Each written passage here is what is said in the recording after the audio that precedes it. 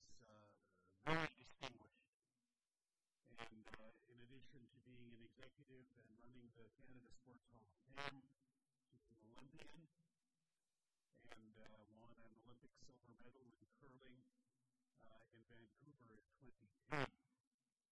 Um, in addition, she uh, is a commentator. Maybe you've seen her on TSN uh, as a curling uh, person. And I heard rumors that she's coming out of retirement to curl again.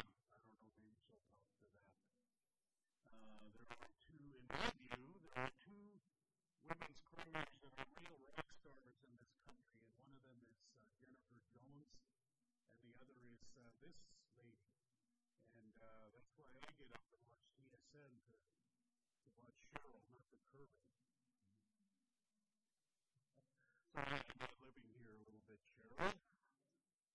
Um, Cheryl joined the Canada Sports Hall of Fame four years ago and has been instrumental in helping provide opportunities for community partnerships and most recently with Indigenous communities across the country by sharing the stories of 14 Indigenous Hall of Famers inducted into Canada's Sports Hall of Fame. Let's give a nice round of applause to Cheryl Bernard.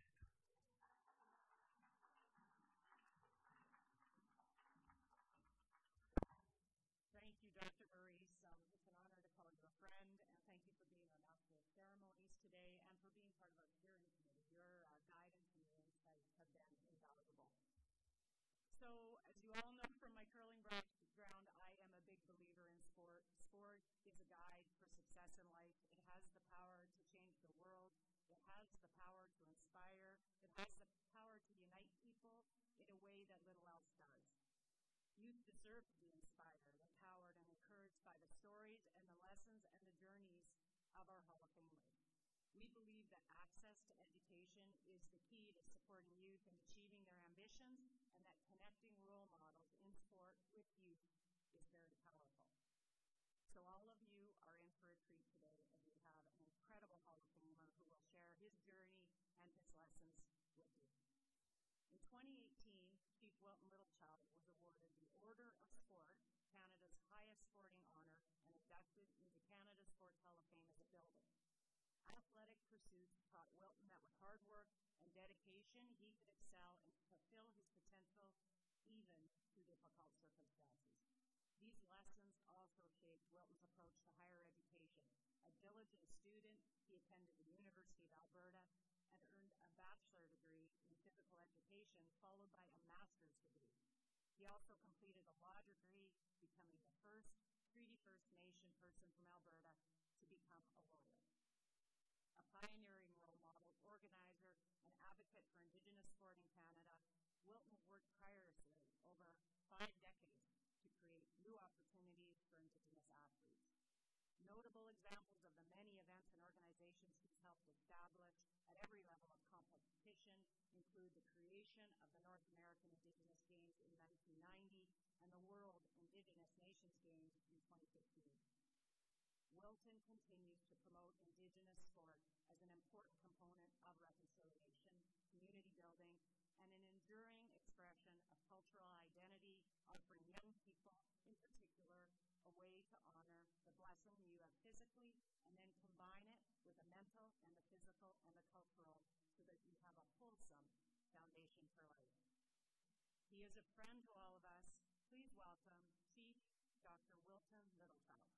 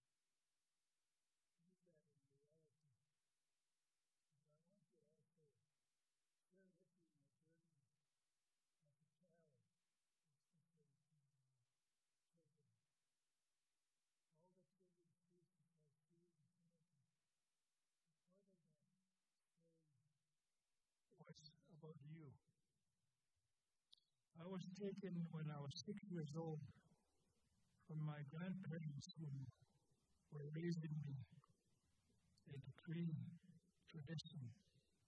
My grandfather, Chief Dan Mind, although he was a chief, could not speak English and could not read or write English.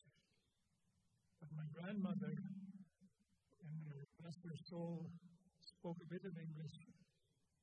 And between the two of them, one took care of the traditional teachings and the other the encouragement to uh, pursue mainstream education. So I was taken to the Ermineskin Indian Residential School when I was six years old on a team of horses. I remember it was a cold day when I was six, and the records show it was in January I was taken. I spent 14 years of my life, like Ruth did, in three different residential schools. And I want to not only tell you the truth about what happened, but also the benefits and the good side, because it was not all bad. I want you to understand that at the beginning. So I went to um, Ermineskin Indian Residential School with many students from Treaty 7 and Treaty 8 because it was a, a catchment school, they called. So I had friends and classmates from Kainai, friends and classmates from Piikani, uh, Siksika, Tsuut'ina, and also the Nakota Sioux. There's so many people.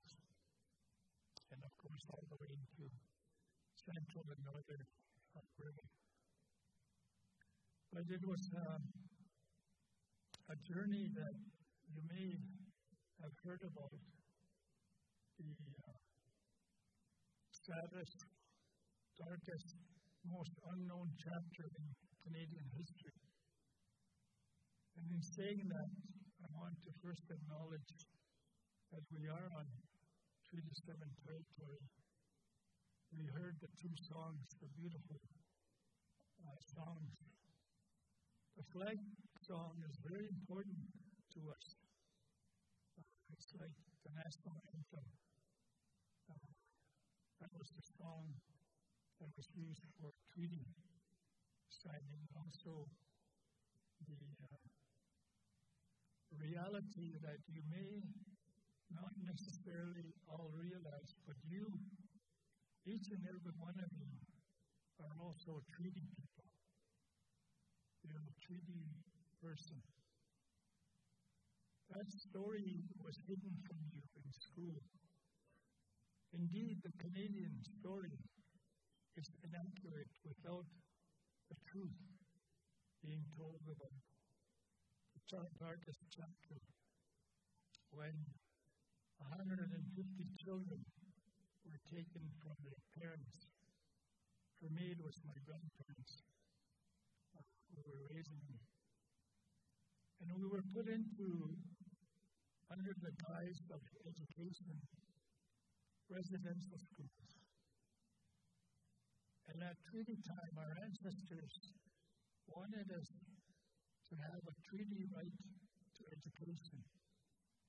But no one asked for residential schools. That was a government decision. It was a decision that was also made into legis- legislation. The Indian Residential School uh, history. The current Prime Minister of the day as two men who had run in an election, did not get elected, but wanted to deal with the so called Indian problem. So he sent a man to the United States because they already had boarding schools. One of the most famous boarding schools for sports, actually, the Carlisle Indian School where Jim Thorpe and others became outstanding athletes. If you don't know who Jim Thorpe is, he won a decathlon in the Olympics in Germany. But his medal was taken away from him because he also played baseball and football. And in baseball, he got some expense money.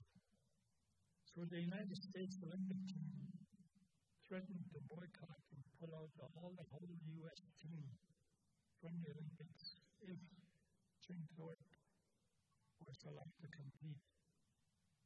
And then from Canada, in the 1912 Olympics, we had Jim Thorpe, who went through the same U.S. out if Jim Thorpe was allowed to run the 10,000 meters on the marathon. Eventually, uh, he was allowed to run. Run. Back in the story, I have to tell you as an intro to my journey in sport. You may have heard other residential school survivors tell their stories about the abuse that children suffered under this legislative assimilation.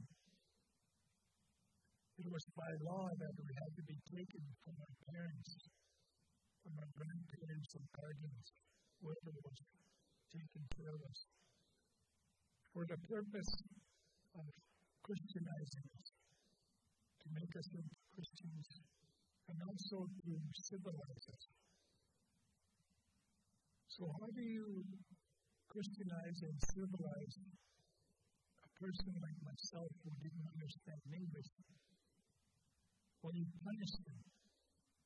A man who went to Carlisle Indian School to find out how that school was run came back to the Prime Minister and said, The children are dealt with over there when they step out of line to be physically punished. And they send a man to France to study the reform school. And he came back and told the story about how they deal with delinquents in reform school. It was shameful. He punished them. But luckily, we saw some survivors here this morning. All across the country, there's survivors who made it through the residential school abuse. All kinds of abuse. Imagine yourself as a child being taken and physically beaten. Imagine yourself as being mentally assaulted by being called a dummy. Or imagine yourself not being called by your name, but by a number. And what that does to you, what that does to your self esteem, your pride of who you are. So imagine yourself being punished by not being allowed to eat. A meal because of something you may have been accused of doing wrong or did wrong. Imagine yourself as a young person, as many of us, maybe all of us did, and pardon my language, wetting the bed at night, and to be punished in the morning by taking the sheets from the blanket and wrapped around you and put into the middle of the dorm and told your story to the other children. You are not to do this. So the physical assault of our languages, cultures, of our family, and our communities were early evident in the study that we did by a quarter 13,000 students who were still alive one day said, That's enough. We're going to sue. We're going to sue the government and we're going to the Catholic Church, the United Church, the Anglican Church, and the Baptist Church, who were all hired by the government to run these schools.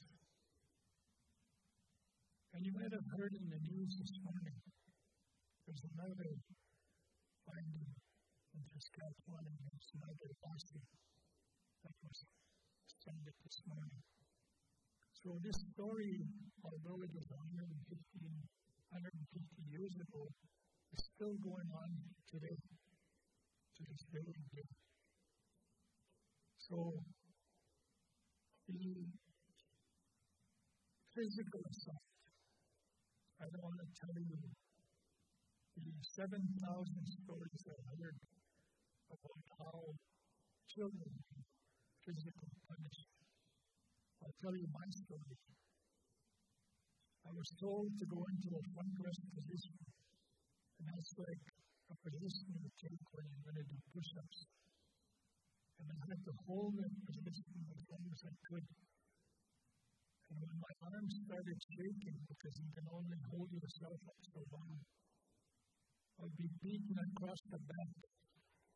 Very, very in a mean way, I'll say, with a hockey stick. Others were punished in different ways. For mental abuse, to be told, Willie, come here, you idiot. Or 65, come here, stupid. 65, pick that up, you dummy.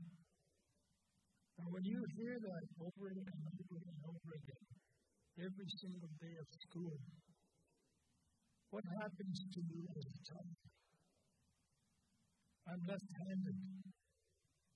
And I was told I was possessed by the devil because I'm left handed.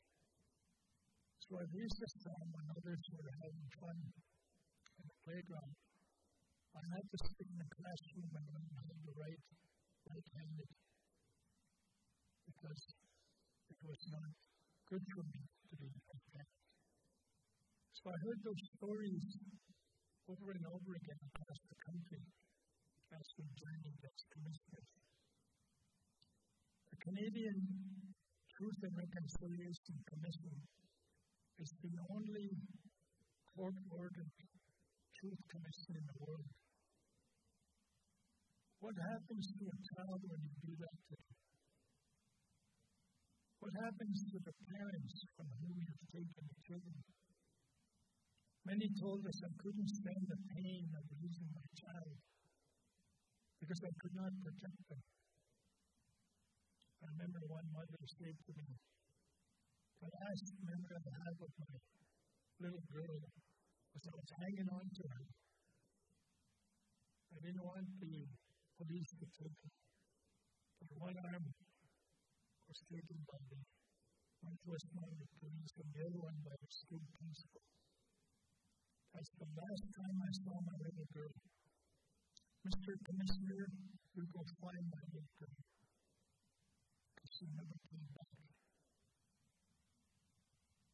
So, the psychological abuse, the emotional abuse you go through with that kind of experience when you're growing up is not very positive. And worst of all, the worst of all, one wonders how an adult could treat a child with sexual abuse. But that's what happened. That's the truth.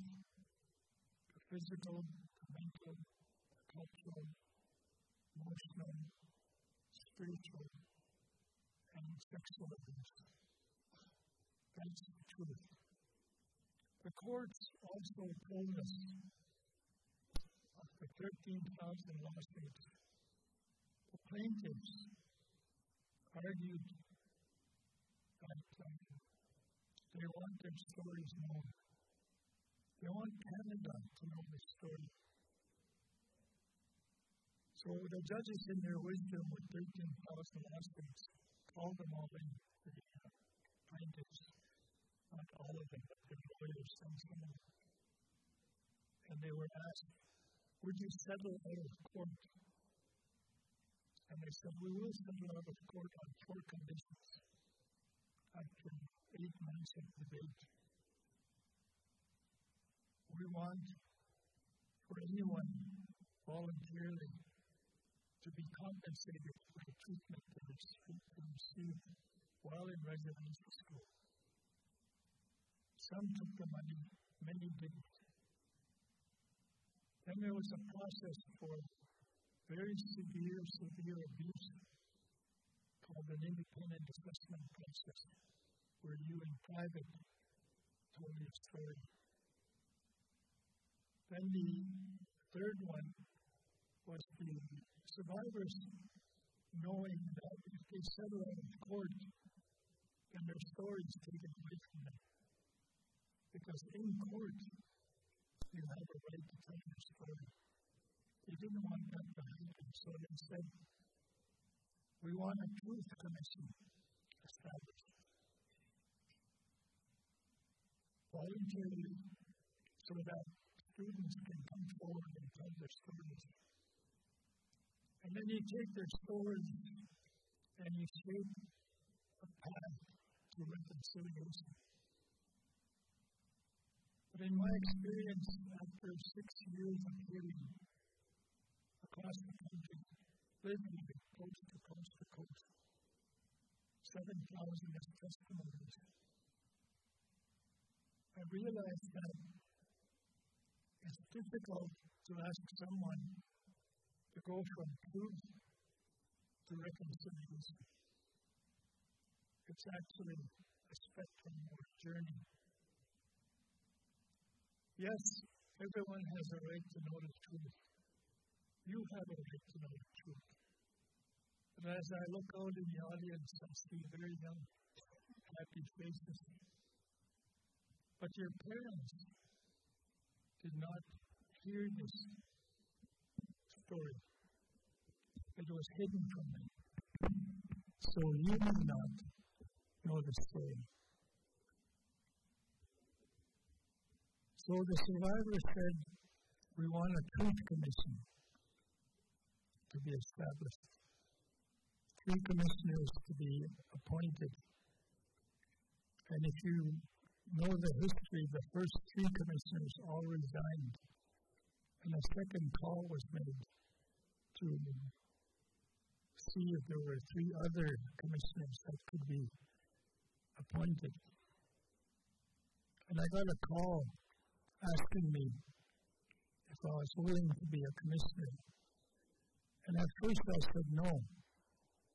I don't want to be a commissioner. I said I'm very happy doing what I'm doing. I've had a chance to compete in nine countries in ice hockey, in 11 World Cups. I've played double A baseball in the West Indies for a whole winter. I've swam in meets in three countries. As a matter of fact, on Saturday, I'm still swimming. I'm talking to you now as young people about the importance and the benefit of sport. I'm 78 years old, and on Saturday, I swam four events to qualify for the Canada Games. So I won two gold in the individual medley. I won a gold in the 100 meter breaststroke, and I won a bronze in the 50 meter freestyle, and a bronze in the 100 meter backstroke. So while you're young, make a commitment to yourself. Physical activity will be something you will do from here, Memories Day, Indigenous Day across the country. And I want you to do something for me today. Two things. When I was at the United Nations one day, I was chairing a meeting, and I said to myself years ago, if I ever get to chair a meeting at the United Nations, I'm going to ask all the presidents, the prime ministers, the ambassadors, the staff, the dignitaries to do one thing for me. So I'm going to ask you to do the same thing today. And then um, make a commitment. So I happened to chair this meeting. And I said, I promised myself I would do this if I ever got this opportunity. And I said to the audience of almost 200 dignitaries from all over the world, I said, I want you to repeat after me. It's a great day. It's a great day. And I said, now join me and let's celebrate this great day by clapping our hands. Now, put them together. Put them together and say, It's a great day. All right. Aboriginal Day is a great day because you get to hear a bit of the history. Because it is a, a great day. Because from this dark history, and you'll know about it more and more as you listen to more and more stories, read more and more books that are written by survivors. One thing saved many of us. One thing saved me. I always say and admit openly that sports, especially hockey, saved my life because I ran away from the abuse, but I ran towards sport to save my life. So make a commitment today, each of the young people, even the uh, older people in the room, uh, to spend at least an hour a day, like I did this morning, and exercise, but also spend some time quietly in prayer and thanksgiving. When I'm asked, How did you succeed? How did you survive residential school? How did you go to all these world championships? How did you have three degrees? How did you get five honorary degrees? I always say two things prayer and exercise. So that's how I start my day every day. So, to the good side of the journey, we now have the reconciliation process that has started. Many times, in tears and anger, people told us for example, all I want to hear is three words. For someone to say to me, I'm sorry. I am sorry for what I did to you as a child. Three of seven of the most powerful words. You've heard the seven most powerful words, I'm sure.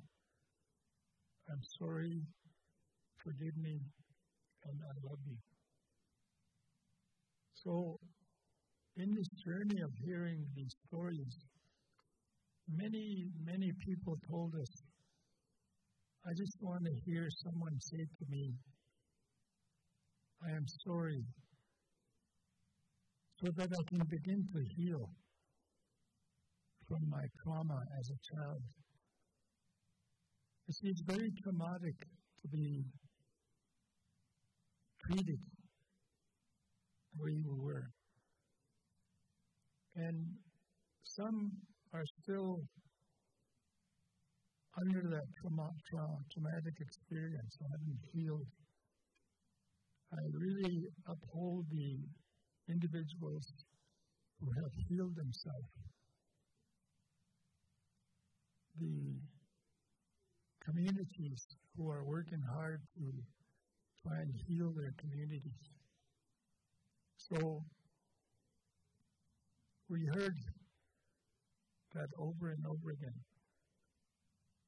So one of the 94 calls to action that we made as the Truth Commission after hearing the stories was to call on the Pope, Pope Francis, to come to Canada and to say to the survivors who are still here, I am sorry. So,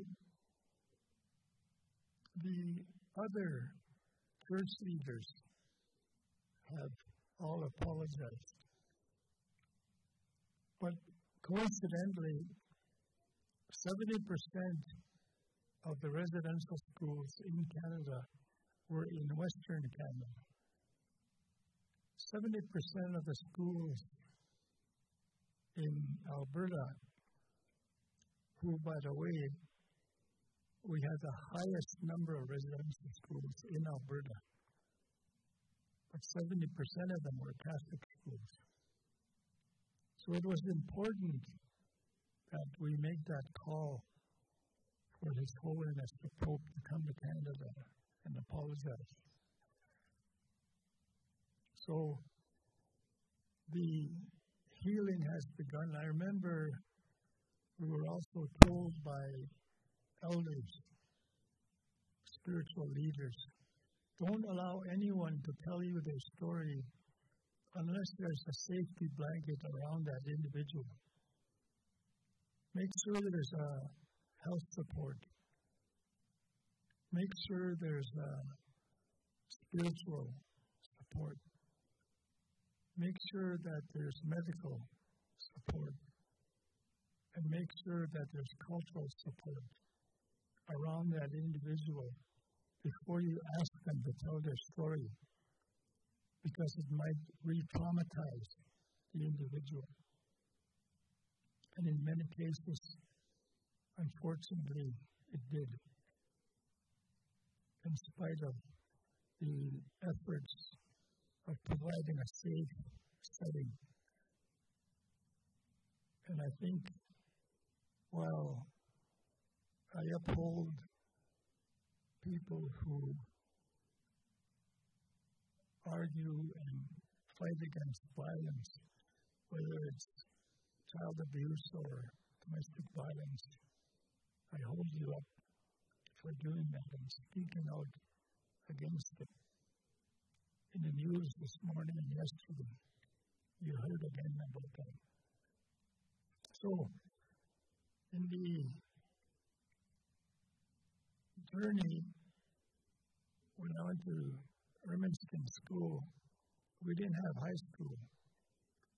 So we were sent to different locations. I was sent to Edmonton to pursue high school because I wanted to, where I learned to um, actually be blessed by sport again because you weren't allowed a weekend every two weeks unless your marks were good. And I used to cheat. I have to admit, I used to cheat in school. I apologize to my classmates because at 4.30 every morning I would up. I would put my blanket over my bed and I would, I had a flashlight, I don't know where it comes, but I had a flashlight that I would hide under my bed and study because I wanted to be on a, a team. Just before the bell rings at 7, I'd crawl back into bed and pretend I was just kidding. up. Oh, how was, it, how was your sleep? I said to my baby. Mine was really good, but I had already studied for since 4.30. On Friday nights, we have movie nights. None of you will know this, but they have movies with big reels, two-hour movies. And on Friday nights, the whole school was called in a room like this. Not nice and uh, it was a flat room. But anyway, they would watch a movie. As soon as the light switch was turned off, I would pick up my skates and go and skate for two hours because I knew the movie was going to end pretty soon. And I'd come back to the room. I would skate in the dark and skate and skate and skate because I wasn't good enough to make the teams until I did that in college. So that's how I survived in the younger uh, grades like yours, grade 8, down to grade 3, grade 1. That was my secret blessing, actually. So I went to college, um, played all the college sports. I fought judo for three years, played college hockey, um, baseball, football. Didn't play basketball. I wasn't like the southern uh, amazing, amazing basketball players, as we heard this morning. Uh, so I got to a point where my marks kept going up. And I say this for a purpose, especially to the students. I'm going to give you a formula for success whether it's in life, in sports, or in business. I once asked one of our elders, How do you become a Canadian champion? Because he was a Canadian champion in uh, roping. And his son became a world champion in roping. Anyway, I asked him, how do you become a Canadian champion? And he said four things, but in one word.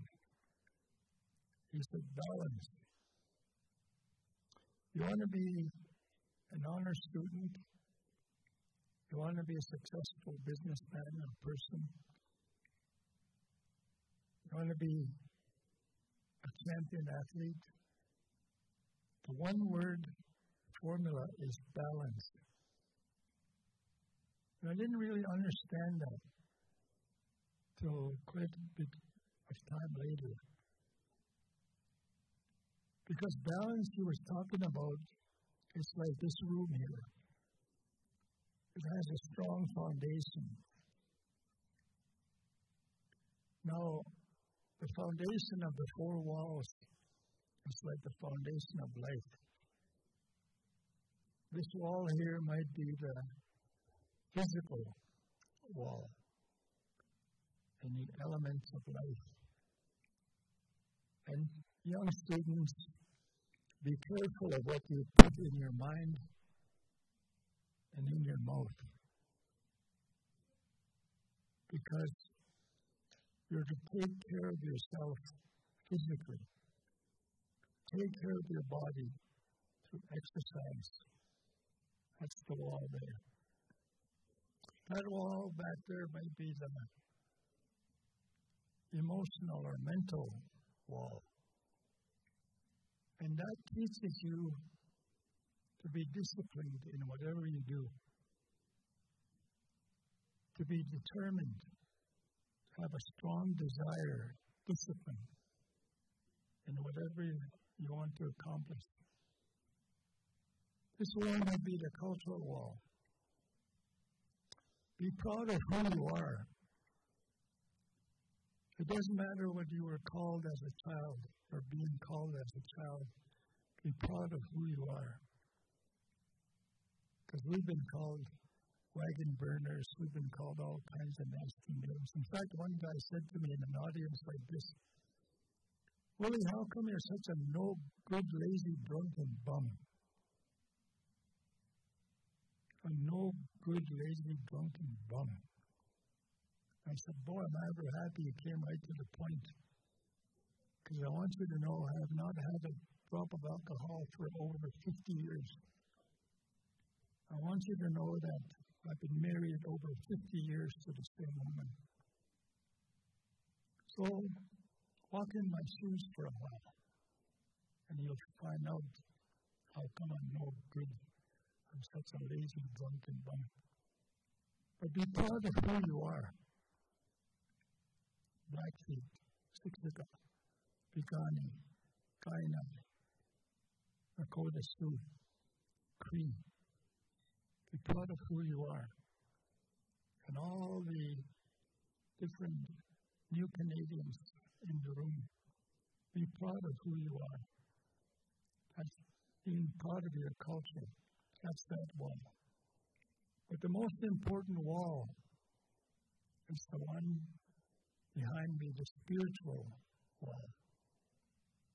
That's the balance he was talking about. Balance your physical, your mental, your cultural, and your spiritual elements of life. That's the formula for success. Don't overbalance the physical and ignore the mental or ignore the cultural. But most of all, ignore the spiritual. Because the spiritual is the key. Without that spiritual foundation or wall in this building, the building crumbles.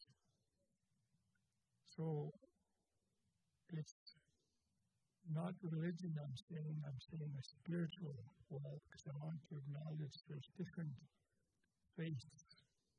We have our beliefs uh, that were outlawed for many years. Like right now, today, as we sit here, there's a Sundance going on at home. One just finished on Sunday, and another one started. And when that finishes, there'll be another one that'll start.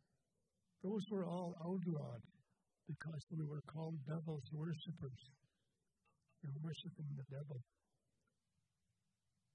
So, remember that one word balance. It'll work for you in sports, it'll work for you in school, and it'll work for you in life. Because if I were to ask you a question, what is 383,954 times 2 divided by 675? You would be able to answer that question because you have a formula in your head how to do math. The same thing in life. The formula is balance. So I wanted to share that um, with you. And just by way of conclusion, I want to um, ask a question to you. Uh, how many of you play basketball? Good. There's lots of basketball players. Well, you know, in every gymnasia, there's uh, a net on both ends of the gymnasium floor. Uh, this one team was really worried about a game one day. Uh, and the coach was going to send a team out to warm up, but they hadn't brought the baskets down. And they went outside dribbling the ball, and they to shoot, and there was no net up there. There was no goal up there. So they came back in the room and they said, Coach, how can we play this game? There's no goals up there, there's no nets up there.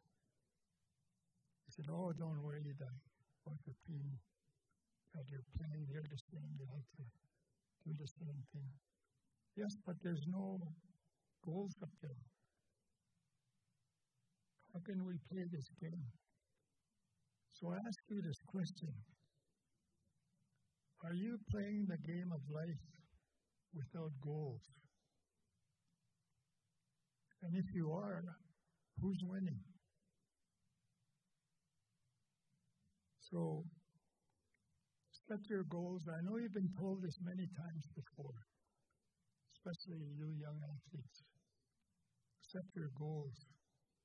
And students, set your goals to be honor students. And it's not only setting the goal that's important, it's getting the goal. So, not just setting, but getting the goal.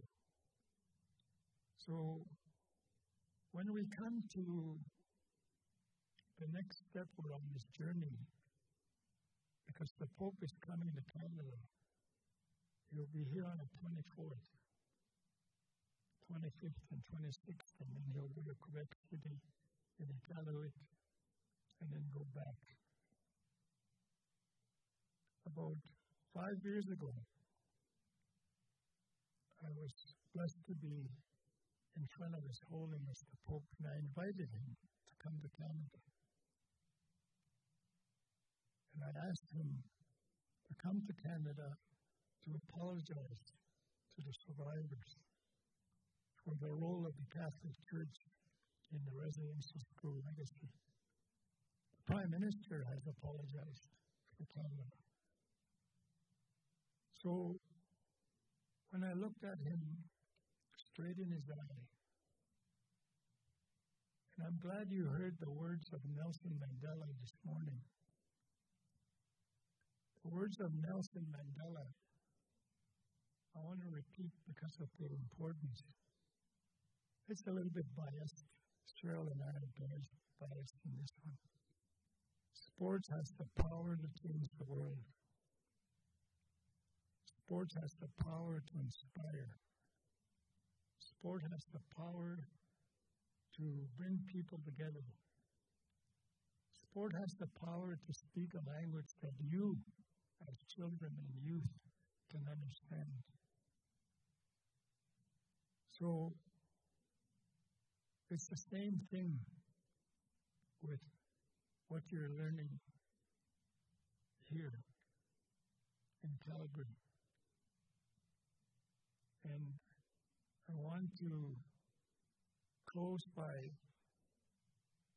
describing a little bit the journey we're on of reconciliation. What is reconciliation? What does it look like?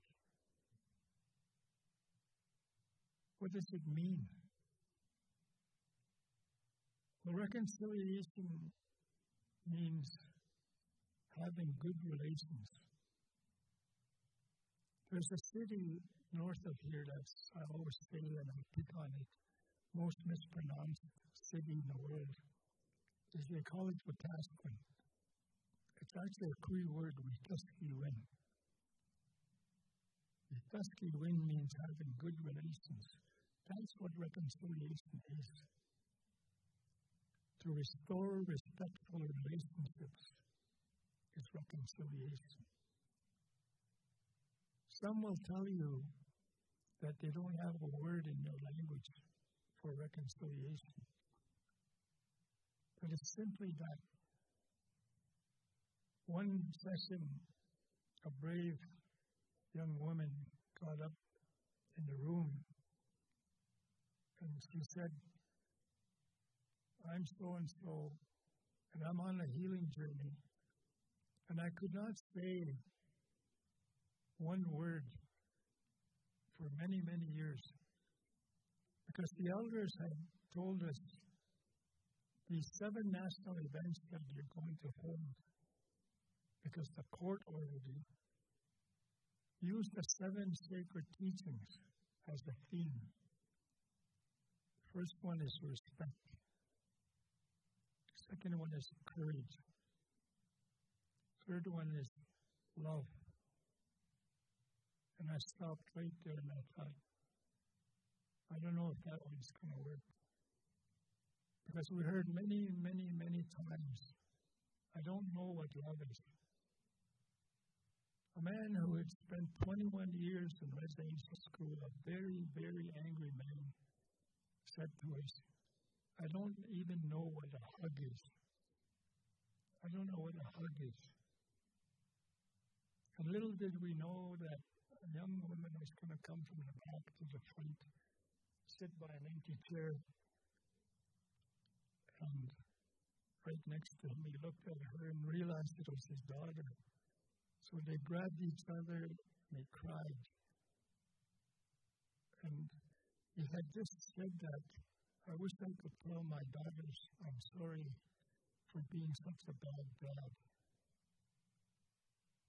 And after he recovered from her emotional um, feeling reunion, he said to me, Mr. Commissioner, that's the first hug I've ever had in my life. So people said, I don't know what love is. I was taken from my parents. Did he fall through the cracks? Is he okay? Okay. I don't know what love is. Because when you're separated from your parents at six and seven years old for 10, 11, 12 years, you come out of there without any experience. You don't know what love means. This woman said, Every morning now when I get up, first thing I do is I go to the mirror and I say to myself, I love you. I love you.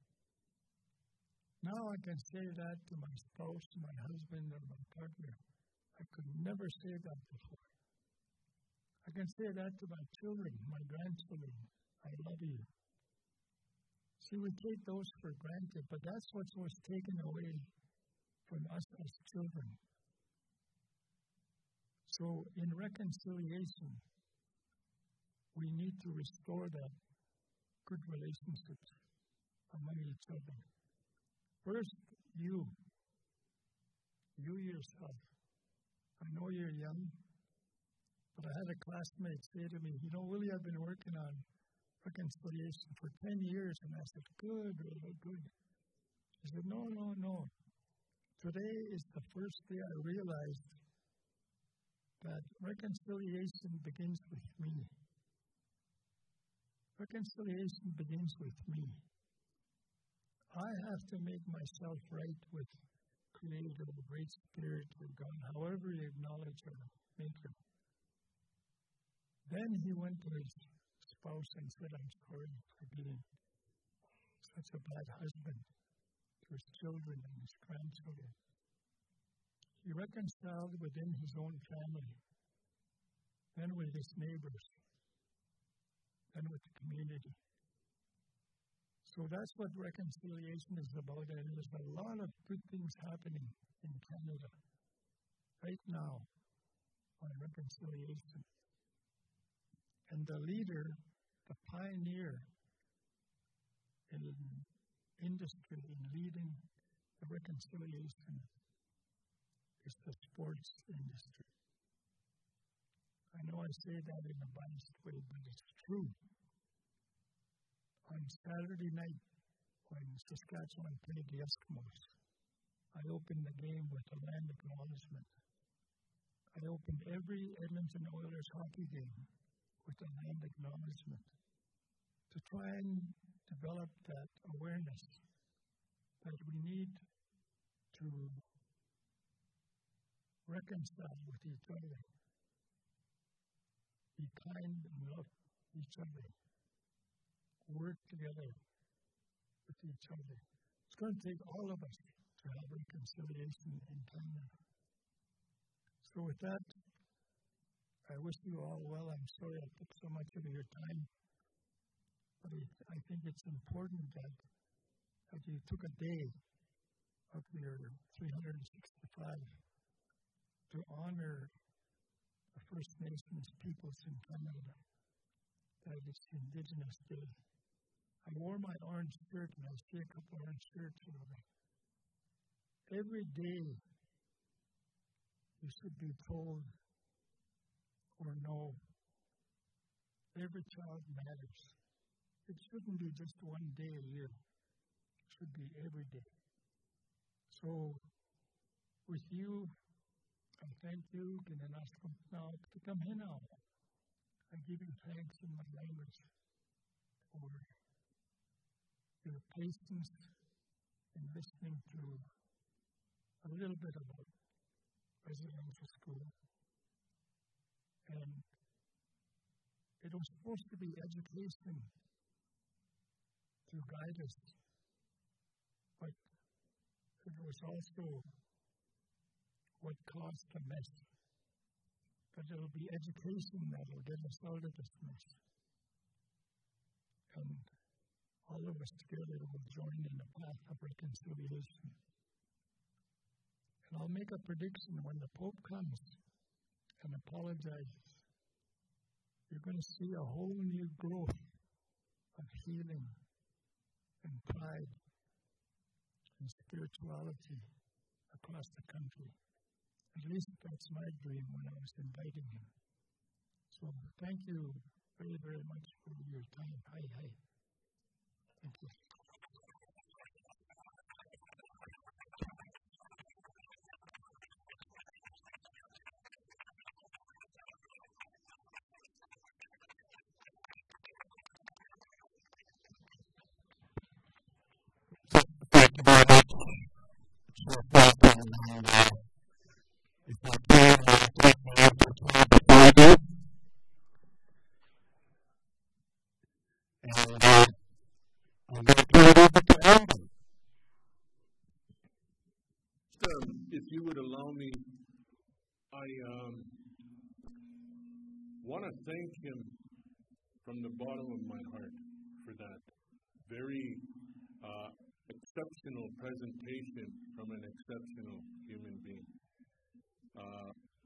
Accomplished athlete, very humble.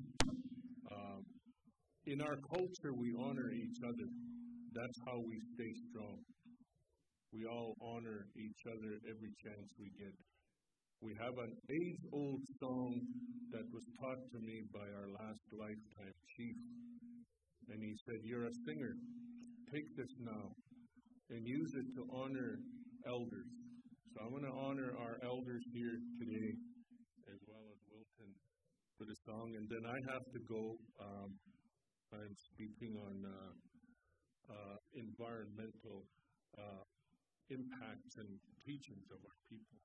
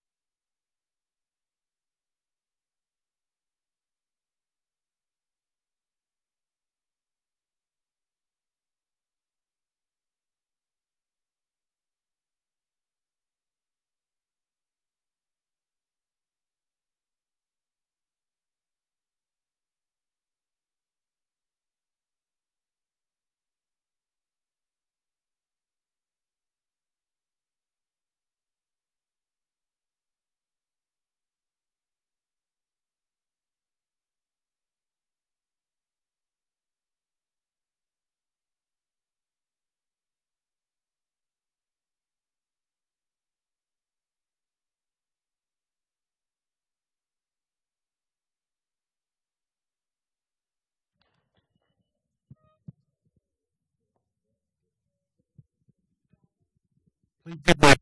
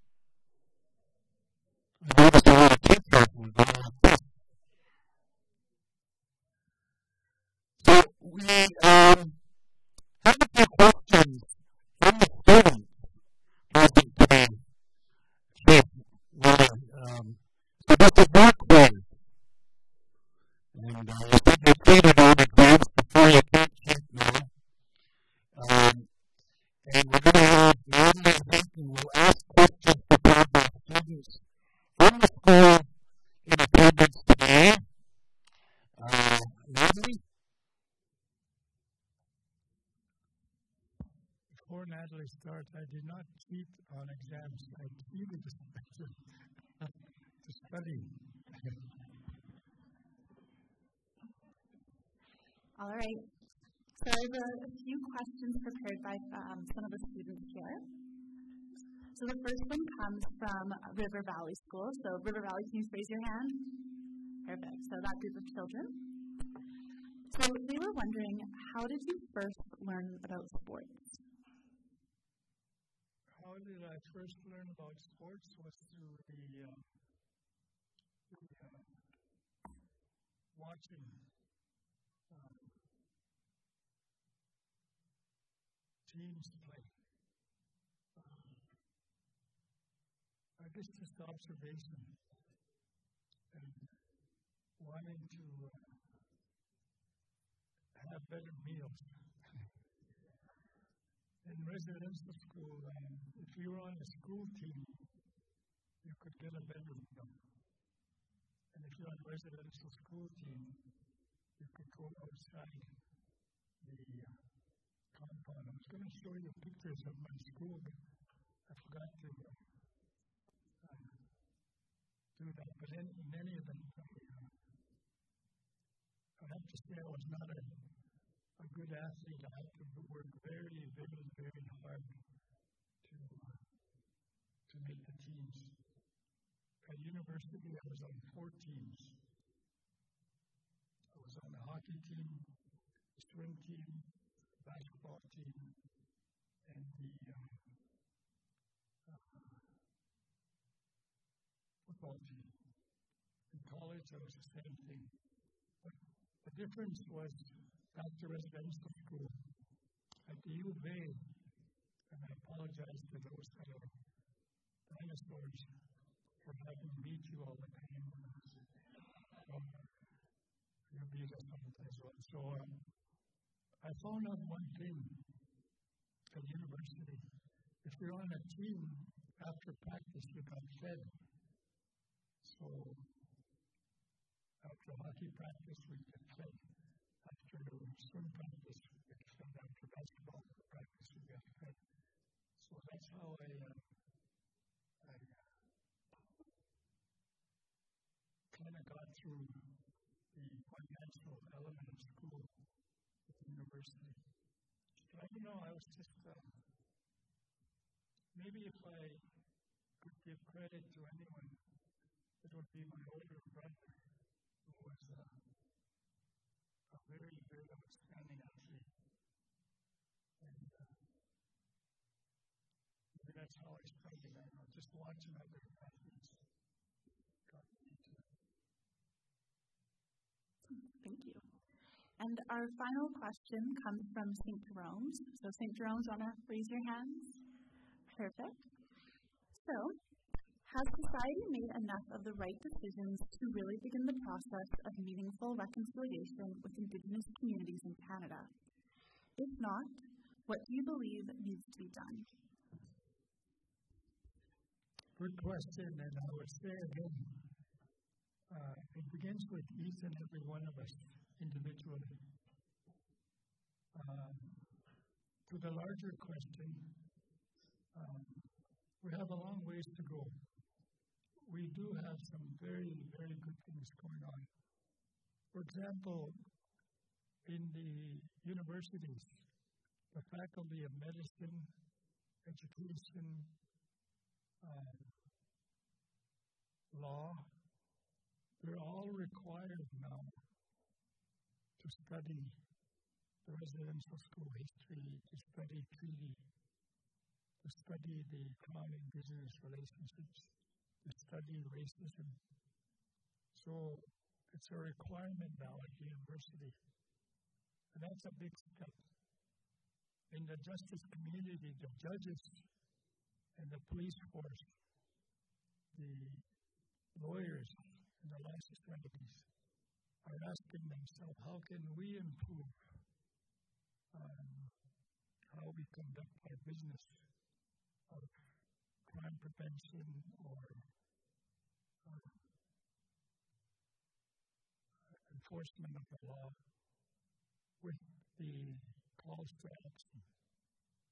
The private industry are asking themselves in their policies how to change their policies so that you could have employees that are First Nations, Métis, or Inuit, and that they have an opportunity to um, at the executive level of corporations.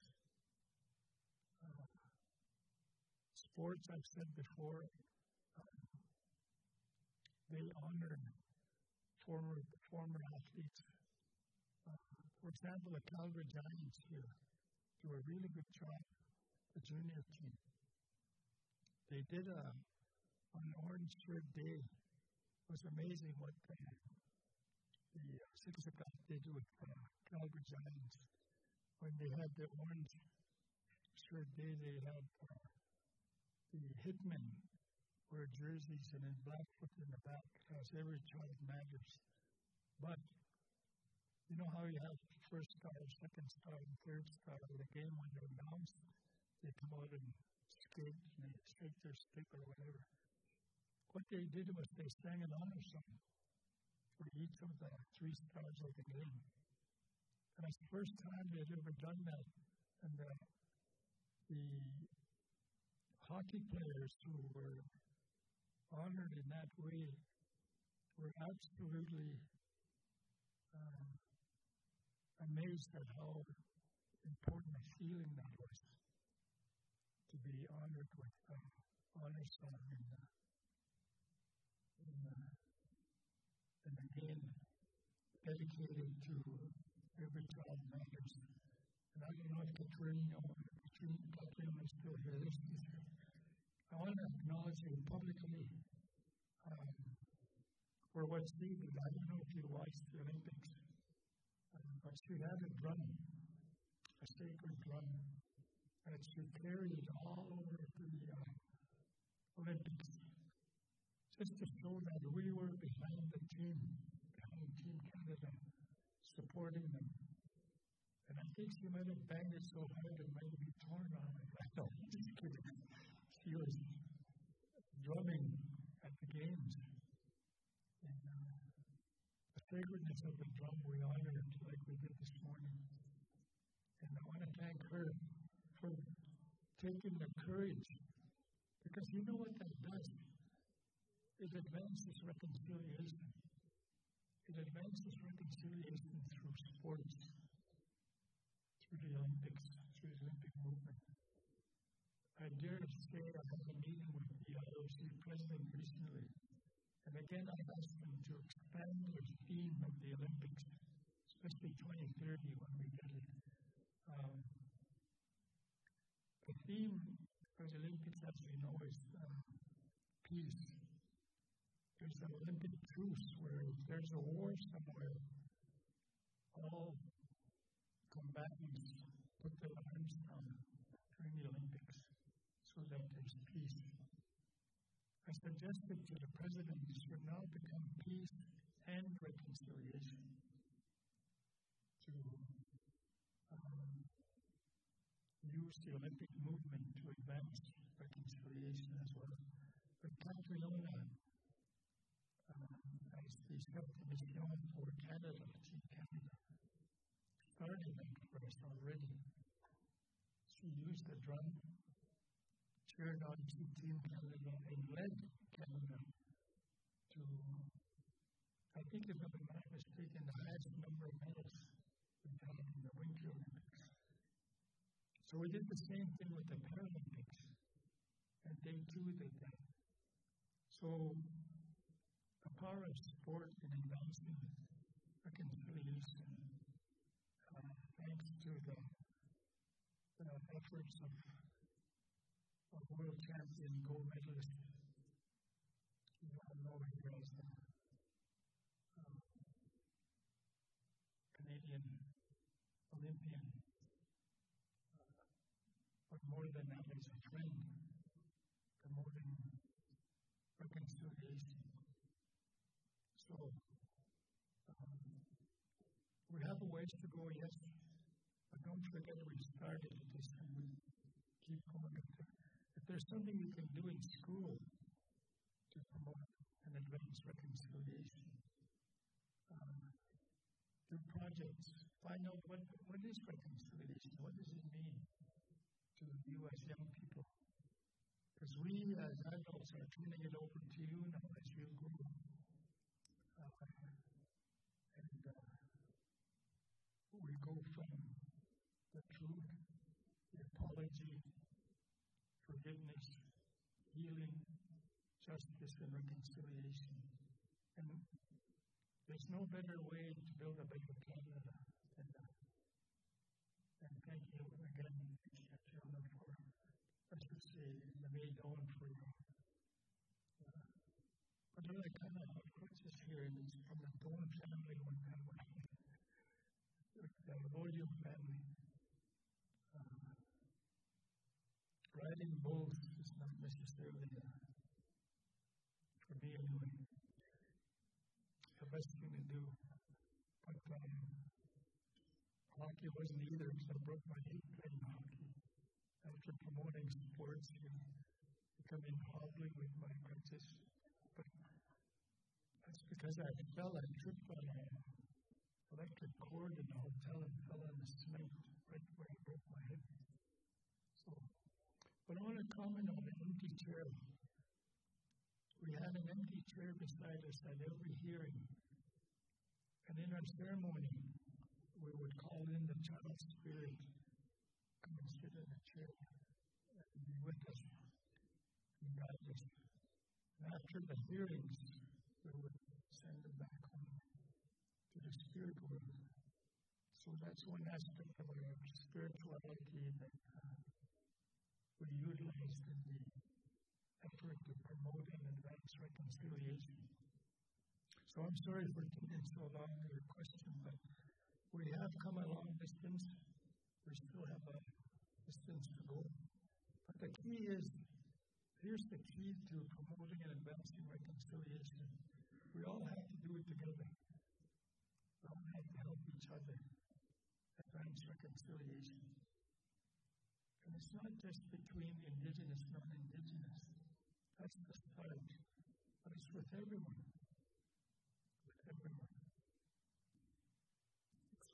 Thank you very much. I will turn it back over to Dr. Many Fingers.